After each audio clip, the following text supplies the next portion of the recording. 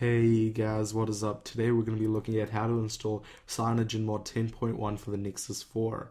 So first things first, you'll have to be rooted, you have to install Clockwork Mod Recovery, unlock your bootloader, and transfer the specific files, which is CyanogenMod 10.1 and uh, Google Apps. So when you've done that, just power off your phone and let it shut down. And what we have to do is put it in um, recovery mode. But to, so to do this, we have to hold the power down, I mean the volume down button and the power button at the same time.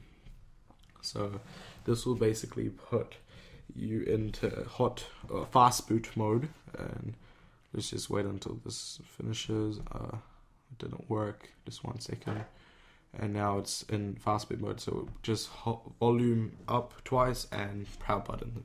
Now you are in recovery mode. So it's Clockwork Mod Recovery. Make sure you have this or TWRP Team Team Win Recovery Project, and go down to install zip and install Clockwork Mod Recovery. So choose it from SD card and press that, and go into download.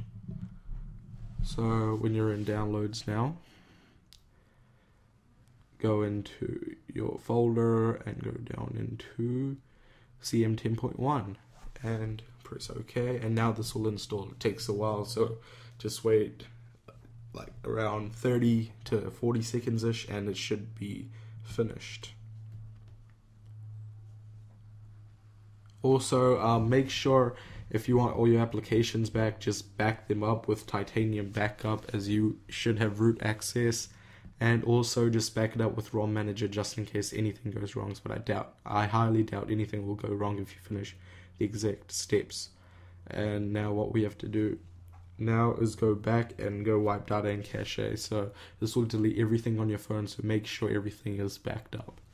So delete all user data and this is going to delete all the user data inside your phone and see data wipe is complete. Now what we have to do is go and wipe cache partition and let's go down and wipe cache partition and go wipe cache and after this we'll have to wipe Dalvik cache so just makes your phone cleaner and more snappier and faster in a way.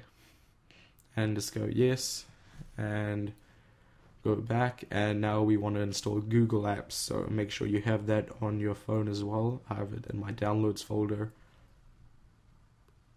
So go down to 4.2.2 Google Apps and press OK now this will install all the Play Store and uh, Google services you need to make sure to run applications obviously. So going back and let's just go reboot system now and if your phone is stuck in a boot loop, uh, just wipe data and cache again and it should fix it. I'm pretty sure it does because every time I've done that, it pretty much fixes everything. So I'll just fast forward this. Pretty simple setup process, and that's about it. Now you're in CyanogenMod 10.1, you have successfully installed it.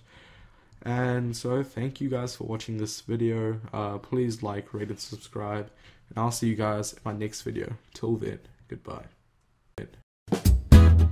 Thank you.